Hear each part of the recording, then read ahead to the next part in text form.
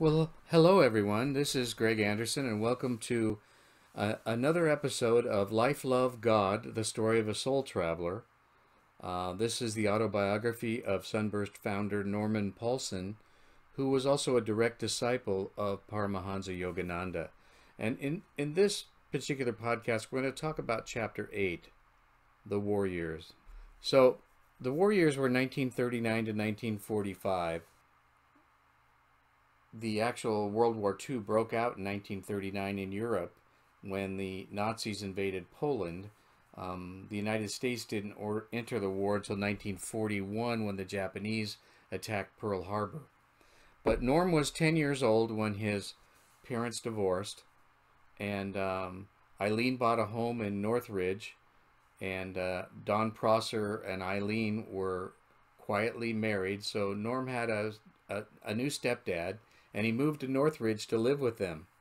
And one of the things that Don did was he made arrangements for Norm to keep a horse named Duke. And this was Norm's first horse at the Prosser home and property. But there were stipulations. Norm had to exercise and care for him.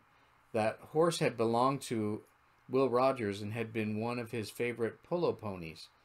And so Norm, over the next few years, learned to ride very well, and together he and Duke won several ribbons at local horse shows.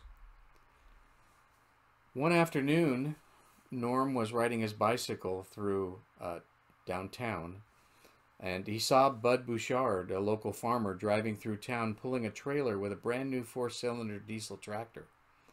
Now, the most popular four cylinder diesel tractor in those days was the McCormick Farmall, and you see a picture of a pristine one to the right. Probably very similar to what Bud's looked like because it was brand new. And Norm rode up to Bud and he said, Do you need any anyone to help you farm? So Bud said, Go ahead, put your bike in the, in the back and uh, uh, get in the truck. And he took him out to the farm and he gave him a brief lesson on how to operate a tractor. And then he asked him to disc the field and he left. Now, I don't know about you, I've had an opportunity to sit on tractors in my lifetime and just looking to figure out how to start the thing, let alone move it in one direction or another, is always a mystery. Well, Norm wrote, I followed my inner guidance, in other words, his intuition, and two hours later I sat there admiring my first completed job. So there's no doubt that Spirit helped Norm get this job done in those two hours, because when Bud returned, he was shocked to see what a good job that Norm had done. And Norm asked him, "Do I have a job with you?" And he said, "Sure, you, you sure do." And Norm worked for uh, Bud until his family had to move away from Northridge. So Norm also worked at a neighbor's ranch, uh, May Kingsman, and she was a horsemanship trainer for movie stars. So in exchange for work on her ranch, Mrs. Kingsman gave riding lessons to Norm. One of Norm's favorite cowboys from the movies was Tom Mix. He was everybody's favorite cowboy. And since Mrs. King, Kingsman knew him well, he she introduced Norm to Tom Mix. And Mix was retired and he was old at the time and he lived very frugally in a small farmhouse. Um, and Norm had a chance to meet him. He had a chance to shake his hand. He tried several times to see him again when he went to Tom Mix's ranch, but uh, uh, Tom was was not there. But what Norm wrote, he said he was a real cowboy, not like the ones we see in our our movies today. He grew up working on ranches. He was a champion roper, a champion horseback rider, and a shooter. Tom Mix was also, uh, according to history, a pallbearer at the funeral of his friend Wyatt Earp. Um, Tom had portrayed Wyatt Earp in one of the films, and uh, Wyatt Earp was the consultant on the film, and they became very close friends.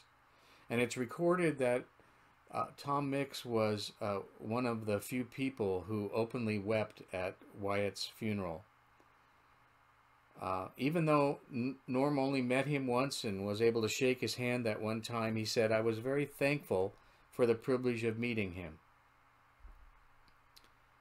So in 1941, the U.S. entered the war right after Pearl Harbor was bombed. And there was a very large Lockheed uh, facility in Burbank, um, and they were expanding their facility, hiring 90,000 new employees to build the P 38 Lightning fighter planes that were used in the beginning of World War II.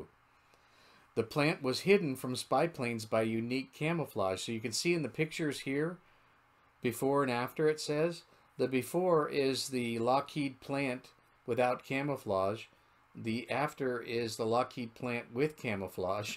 And you can see from the air, you would never know there's anything here but a sparsely populated farming area.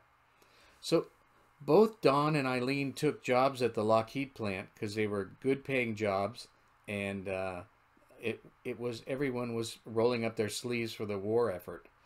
And they had to work in Burbank very long hours, and that commute was taking a toll on both Don and Eileen, um, going from Northridge to Burbank and back every single day. In the summer of 1943, and Norm is now 14, he visited his father in Lompoc. He was shocked to see how Lompoc had changed due to the war. Camp Cooke, which is now known as Vandenberg Air Force Base, had been built and Army personnel had flooded into the city, increasing the population by four times. Charles confided in his son Norman that he was considering resigning as judge and moving north because this increased population was producing increased crime and increased work in his judgeship, and uh, I, I think he was getting ready to retire. Norm asked his father to help him get a permit to drive, which Charles was able to to acquire for him on one stipulation. He could only drive during the day, daylight hours and not at night. And um, when he returned to northridge don prosser his stepfather helped him to find and and um, get his first car which was a 1934 ford sedan. And you see here there's a picture of a pristine 1934 ford sedan.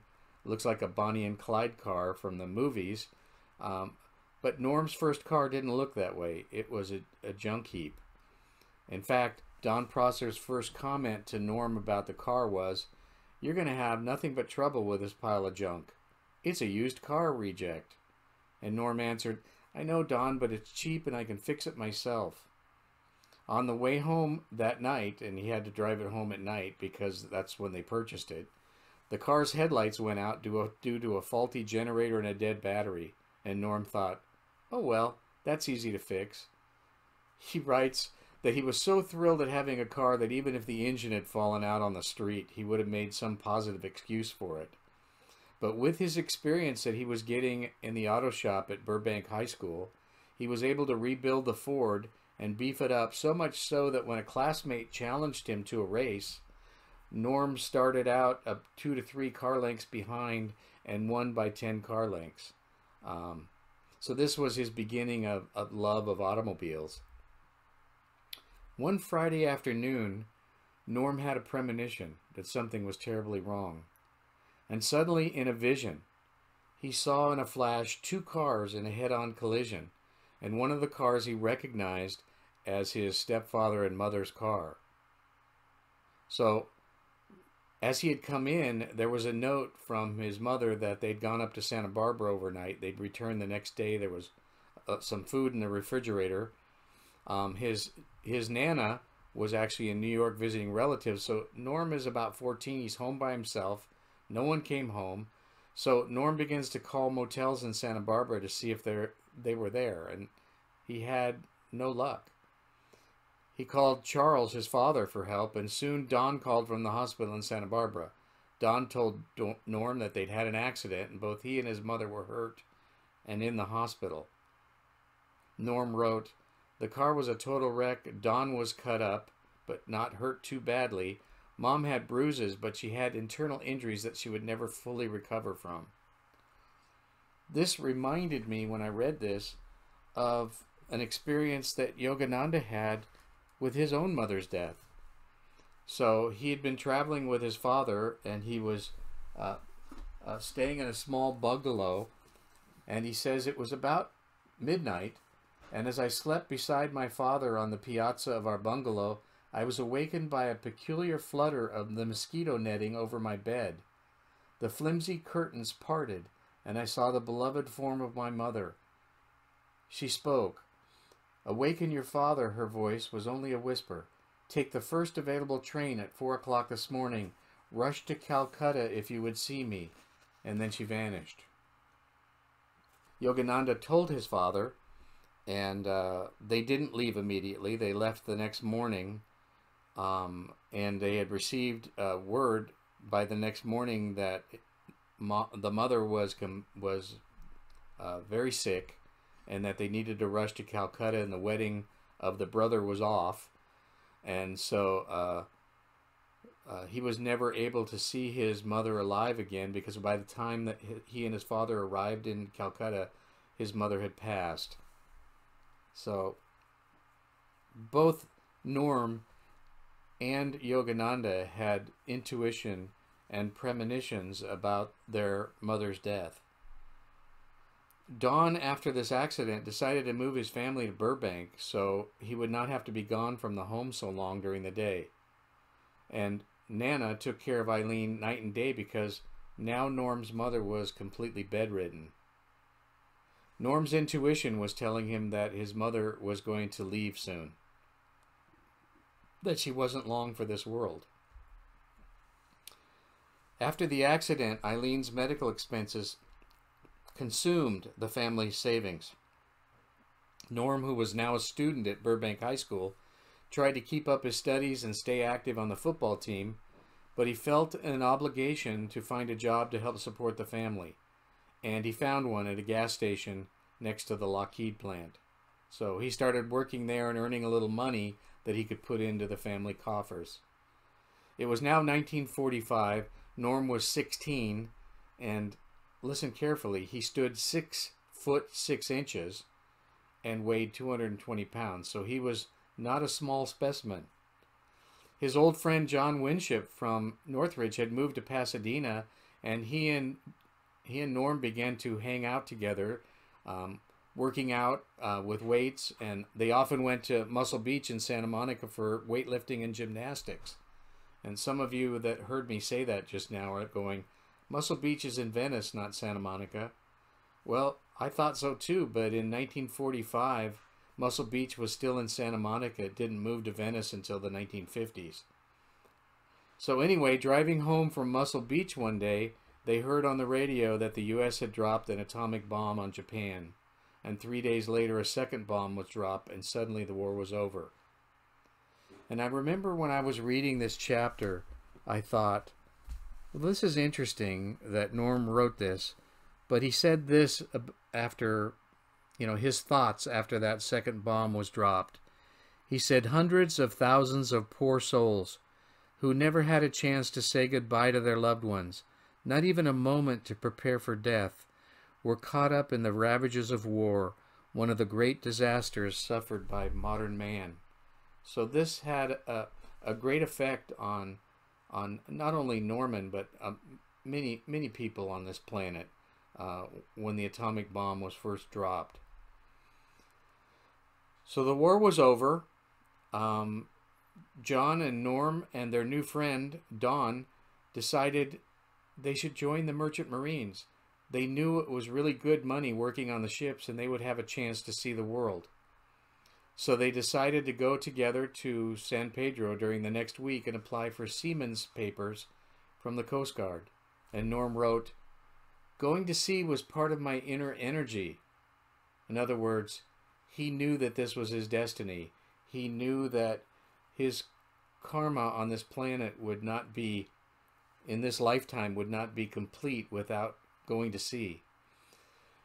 I knew I had to go, and besides, with all the money they promised, I would really be, it would really enable me to help out our family. So this was an interesting chapter because I would have uh, probably named this. It was the War Years, so that was a perfect name. So and Norman named it, so we'll we'll leave it the War Years. But it also is a chapter where you you suddenly realize the passions that Norm has the passions he's developed from his youth, uh, his passion for horses and horseback riding, his passion for farming and good farming equipment, his love of cowboys and ranching, his love of big, fast cars.